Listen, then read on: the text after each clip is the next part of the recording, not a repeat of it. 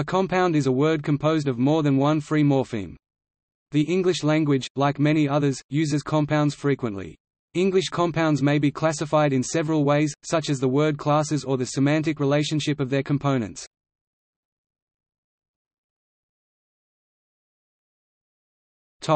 Compound nouns Most English compound nouns are noun phrases i.e. nominal phrases that include a noun modified by adjectives or noun adjuncts. Due to the English tendency towards conversion, the two classes are not always easily distinguished. Most English compound nouns that consist of more than two words can be constructed recursively by combining two words at a time. Combining «science» and «fiction» and then combining the resulting compound with «writer», for example, can construct the compound «science fiction writer». Some compounds, such as salt and pepper or mother of pearl, cannot be constructed in this way. Topic: Types of compound nouns. Since English is a mostly analytic language, unlike most other Germanic languages, it creates compounds by concatenating words without case markers. As in other Germanic languages, the compounds may be arbitrarily long. However, this is obscured by the fact that the written representation of long compounds always contains spaces. Short compounds may be written in three different ways, which do not correspond to different pronunciations, however, the solid or closed forms in which two usually moderately short words appear together as one. Solid compounds most likely consist of short monosyllabic units that often have been established in the language for a long time. Examples are housewife, lawsuit, wallpaper, basketball. The hyphenated form in which two or more words are connected by a hyphen. Compounds that contain affixes, such as house-build er and single-mind ed ness, as well as adjective-adjective compounds and verb-verb compounds, such as blue-green and freeze-dried, are often hyphenated. Compounds that contain articles, prepositions or conjunctions, such as rent-a-cop, mother of pearl and salt and pepper, are also often hyphenated. The open or spaced form consisting of newer combinations of usually longer words, such as distance learning, player piano, lawn tennis, usage in the US and in the UK differs and often depends on the individual choice of the writer rather than on a hard and fast rule, therefore, open, hyphenated, and closed forms may be encountered for the same compound noun, such as the triplets container ship, container ship, container ship and particle board, particle board, particle board. In addition to this native English compounding, there is the classical type, which consists of words derived from Latin, as horticulture, and those of Greek origin, such as photography, the components of which are in bound form connected by connecting vowels, which are most often I and O in Latin and Greek respectively, and cannot stand alone.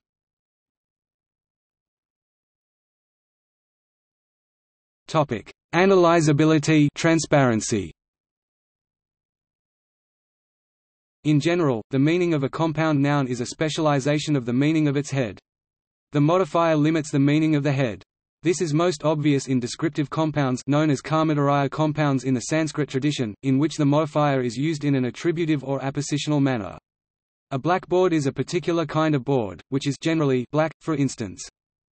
In determinative compounds, however, the relationship is not attributive. For example, a footstool is not a particular type of stool that is like a foot. Rather, it is a stool for one's foot or feet, it can be used for sitting on, but that is not its primary purpose. In a similar manner, an office manager is the manager of an office, an armchair is a chair with arms, and a raincoat is a coat against the rain. These relationships, which are expressed by prepositions in English, would be expressed by grammatical case in other languages. Compounds of this type are known as tatpurusha in the Sanskrit tradition. Both of the above types of compounds are called endocentric compounds because the semantic head is contained within the compound itself. A blackboard is a type of board, for example, and a footstool is a type of stool. However, in another common type of compound, the exocentric known as a bahuvrihi compound in the Sanskrit tradition, the semantic head is not explicitly expressed. A redhead, for example, is not a kind of head, but is a person with red hair. Similarly, a blockhead is also not a head, but a person with a head that is as hard and unreceptive as a block i.e. stupid. And a lion heart is not a type of heart, but a person with a heart like a lion in its bravery, courage, fearlessness, etc. Note in general the way to tell the two apart. Can you paraphrase the meaning of the compound x, y to a person, thing that is a y, or that does y, if y is a verb with x having some unspecified connection? This is an endocentric compound. Can you paraphrase the meaning if the compound x, y to a person, thing that is with y, with x having some unspecified connection.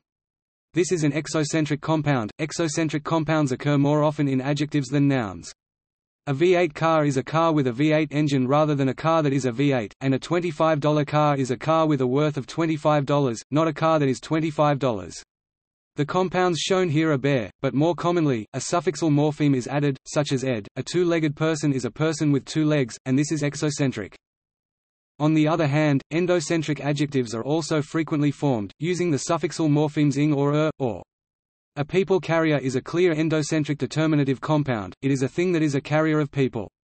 The related adjective, car-carrying, is also endocentric, it refers to an object which is a carrying thing or equivalently, which does carry.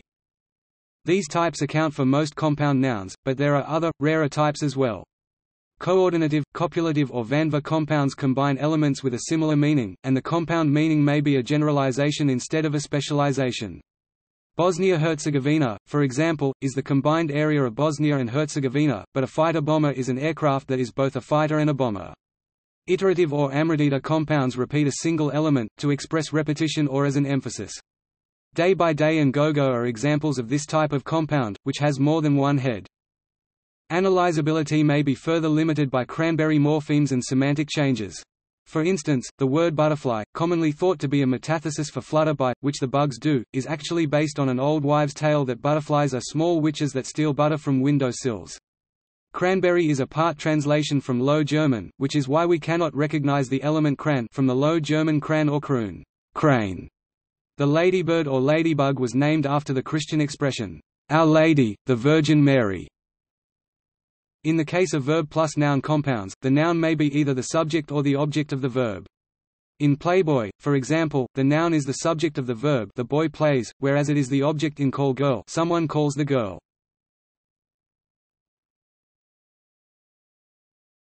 Topic: Sound patterns. Stress patterns may distinguish a compound word from a noun phrase consisting of the same component words. For example, a blackboard, adjective plus noun, is any board that is black, and has equal stress on both elements. The compound blackboard, on the other hand, though it may have started out historically as blackboard, now is stressed on only the first element, black. Thus a compound such as the White House normally has a falling intonation which a phrase such as a White House does not.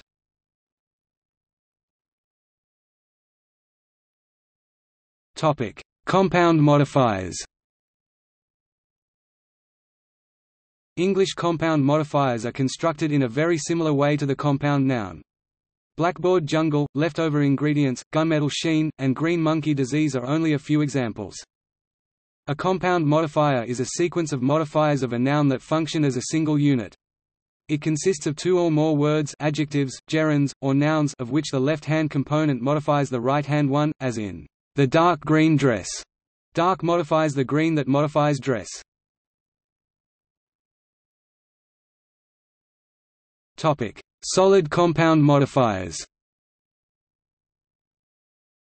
There are some well-established permanent compound modifiers that have become solid over a longer period, especially in American usage, ear-splitting, eye-catching, and downtown. However, in British usage, these, apart from downtown, are more likely written with a hyphen, ear-splitting, eye-catching. Other solid compound modifiers are for example numbers that are spelled out and have the suffix fold added, 15-fold, Sixfold. Points of the compass, northwest, northwestern, northwesterly, northwestwards. In British usage, the hyphenated and open versions are more common, northwestern, northwesterly, northwest, northwestwards.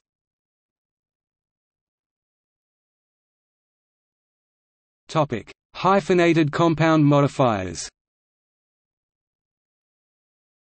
Major style guides advise consulting a dictionary to determine whether a compound modifier should be hyphenated. The dictionary's hyphenation should be followed even when the compound modifier follows a noun, that is, regardless of whether in attributive or predicative position, because they are permanent compounds, whereas the general rule with temporary compounds is that hyphens are omitted in the predicative position because they are used only when necessary to prevent misreading, which is usually only in the attributive position, and even there, only on a case-by-case basis. Generally, a compound modifier is hyphenated if the hyphen helps helps the reader differentiate a compound modifier from two adjacent modifiers that modify the noun independently.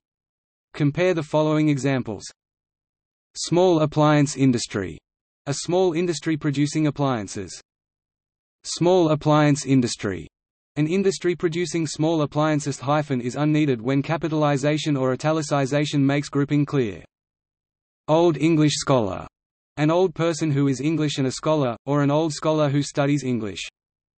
Old English scholar, a scholar of Old English. De facto proceedings, not de facto. If, however, there is no risk of ambiguities, it may be written without a hyphen. Sunday morning walk, a walk on Sunday morning, is practically the same as a morning walk on Sunday. Hyphenated compound modifiers may have been formed originally by an adjective preceding a noun, when this phrase in turn precedes another noun. Round table. Round table discussion. Blue sky. Blue sky law. Red light. Red light district. Four wheels. Four-wheel drive. Historically, the singular or root is used, not the plural others may have originated with a verb preceding an adjective or adverb. Feel good. Feel good factor. Buy now, pay later. Buy now pay later purchase. Yet others are created with an original verb preceding a preposition. Stick on. Stick on label. Walk on. Walk on part. Stand by. Stand-by fare Roll on, roll off. Roll on roll off ferry. The following compound modifiers are always hyphenated when they are not written as one word. An adjective preceding a noun to which d or ed has been added as a past participle construction, used before a noun. Loud-mouthed hooligan. Middle-aged lady. Rose-tinted glasses a noun, adjective, or adverb preceding a present participle. An awe-inspiring personality. A long-lasting affair. A far-reaching decision. Numbers, whether or not spelled out, that precede a noun. Seven-year itch. Five-sided polygon. 20th-century poem. Thirty-piece band. Tenth-story window a 20-year-old man as a compound modifier and the 20-year-old as a compound noun but a man who is 20 years old. A numeral with the affix fold has a hyphen 15-fold, but when spelled out takes a solid construction 15-fold. Numbers, spelled out or not, with added odd, 16-odd, 70-odd. Compound modifiers with high or low, high-level discussion, low price markup, Colors in compounds. A dark blue sweater. A reddish-orange dress. Fractions as modifiers are hyphenated. 5 eighths of an inch. But if numerator or denominator are already hyphenated, the fraction itself does not take a hyphen. A 33,000th part. Fractions used as nouns have no hyphens, I ate only one-third of the pie. Comparatives and superlatives in compound adjectives also take hyphens. The highest placed competitor. A shorter-term loan. However, a construction with most is not hyphenated. The most respected member. Compounds including two geographical modifiers. Afro-Cuban. African American. Sometimes. Anglo-Indian. But not. Central American which refers to people from a specific geographical region. The following compound modifiers are not normally hyphenated. Compound modifiers that are not hyphenated in the relevant dictionary or that are unambiguous without a hyphen. Where there is no risk of ambiguity. A Sunday morning walk. Left-hand components of a compound modifier that end in lie and that modify right-hand components that are past participles ending in ed. A hotly disputed subject. A greatly improved scheme. A distantly related celebrity. Compound modifiers that include comparatives and superlatives with more, most, less or least. A more recent development. The most respected member. A less opportune moment. The least expected event. Ordinarily hyphenated compounds with intensive adverbs in front of adjectives. Very much admired classicist. Really well accepted proposal. Topic: Using a group of compound nouns containing the same head Special rules apply when multiple compound nouns with the same head are used together, often with a conjunction and with hyphens and commas if they are needed. The third and fourth grade teachers met with the parents. Both full and part-time employees will get raises this year. We don't see many three, four, and five-year-old children around here.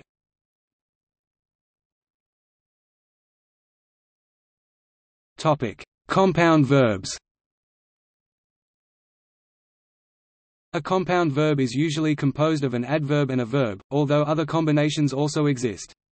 The term compound verb was first used in publication in Grattan and Gurrey's Our Living Language 1925. Some compound verbs are difficult to analyze morphologically because several derivations are plausible. Blacklist, for instance, might be analyzed as an adjective plus verb compound, or as an adjective plus noun compound that becomes a verb through zero derivation. Most compound verbs originally have the collective meaning of both components, but some of them later gain additional meanings that may supersede the original, emergent sense. Therefore, sometimes the resultant meanings are seemingly barely related to the original contributors. Compound verbs composed of a noun and verb are comparatively rare, and the noun is generally not the direct object of the verb.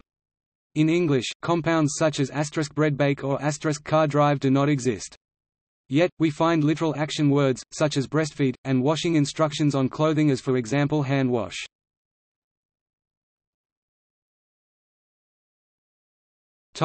Hyphenation Compound verbs with single-syllable modifiers are often solid, or unhyphenated. Those with longer modifiers may originally be hyphenated, but as they became established, they became solid, e.g. overhang English origin, Counterattack Latin origin There was a tendency in the 18th century to use hyphens excessively, that is, to hyphenate all previously established solid compound verbs. American English, however, has diminished the use of hyphens, while British English is more conservative.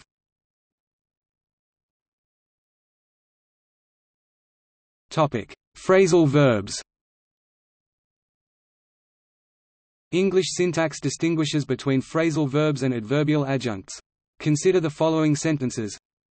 I held up my hand implies that I raised my hand. I held up the negotiations implies that I delayed the negotiations. I held up the bank to the highest standard implies that I demanded model behavior regarding the bank. I held up the bank implies either a that I robbed the bank or b that I lifted upward a bank either literally, as for a toy bank, or figuratively, as in putting a bank forward as an example of something although usually then the sentence would end with as an exemplar, or similar, each of the foregoing sentences implies a contextually distinguishable meaning of the word up, but the fourth sentence may differ syntactically, depending on whether it intends meaning a or b. Specifically, the first three sentences render held up as a phrasal verb that expresses an idiomatic, figurative, or metaphorical sense that depends on the contextual meaning of the particle up. The fourth sentence, however, ambiguously renders up either as a, a particle that complements held or as b an adverb that modifies held.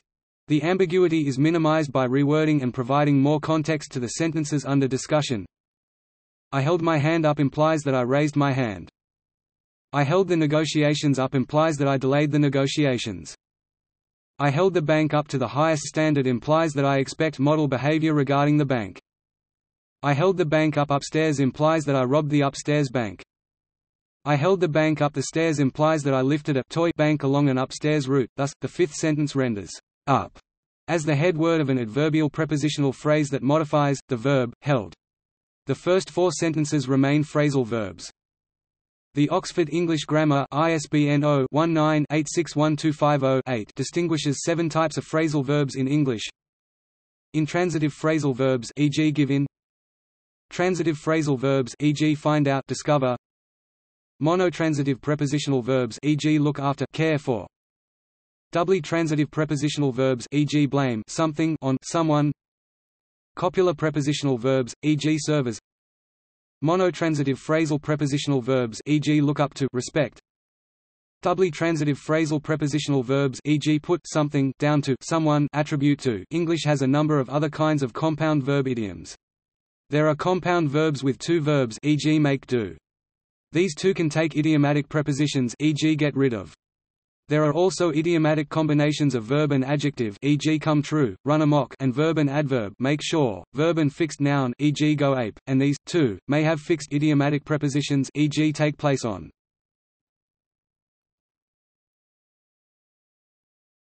Topic. Misuses of the term Compound verb is often used in place of complex verb, a type of complex phrase. But this usage is not accepted in linguistics, because «compound» and «complex» are not synonymous. Verb phrase, or verbal phrase. This is a partially, but not entirely, incorrect use. A phrasal verb can be a one-word verb, of which compound verb is a type. However, many phrasal verbs are multi-word. Phrasal verb a subtype of verb phrase, which have a particle as a word before or after the verb.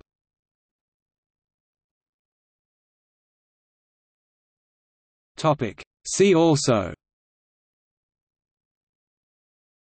Metaphor. Phrasal verb. Portmanteau. Syllabic abbreviations.